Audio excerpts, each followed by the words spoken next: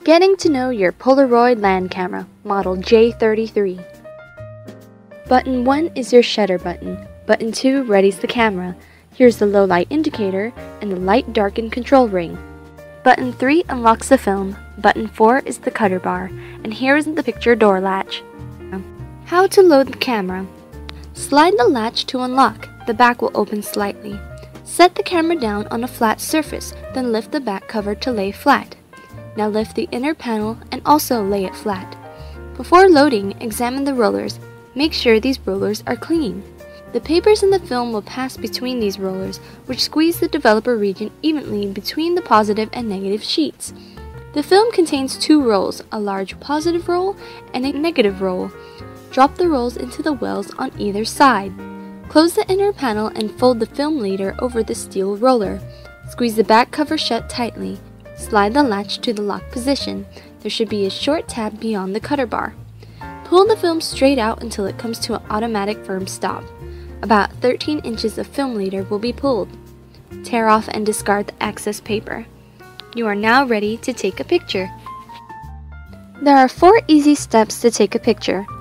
To take a picture, aim through the viewfinder, then push the red button. This exposes your picture. Make sure you hold still for a moment after the click. Push the white knob up. This cocks the shutter and readies the camera for the next picture.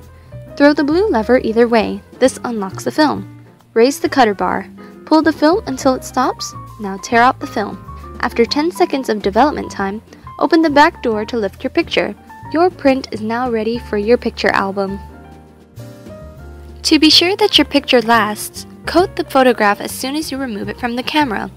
Apply the print coater along the entire length of the print with 6 to 8 firm overlapping strokes. The print coater leaves a hard plastic coating to help preserve your print. There are various settings for the Polaroid land camera.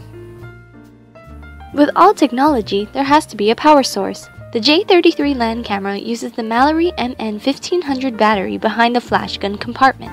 This battery generally lasts 2 to 5 years under normal conditions. Nowadays, a normal AA battery can be used. First, we have the lighten and darken control. When taking pictures, it is best to leave the black dot on the control to normal. To lighten pictures, turn the dial to lighten, and to darken pictures, turn the dial to darken. To help indicate if you have enough light, refer to the low light level indicator. If the red bar is towards the left or not visible, there is enough light. If the red bar is towards the right, there is not enough light and it is suggested to use flash. On to the flash settings. To make bounce flash pictures, aim the reflector straight up.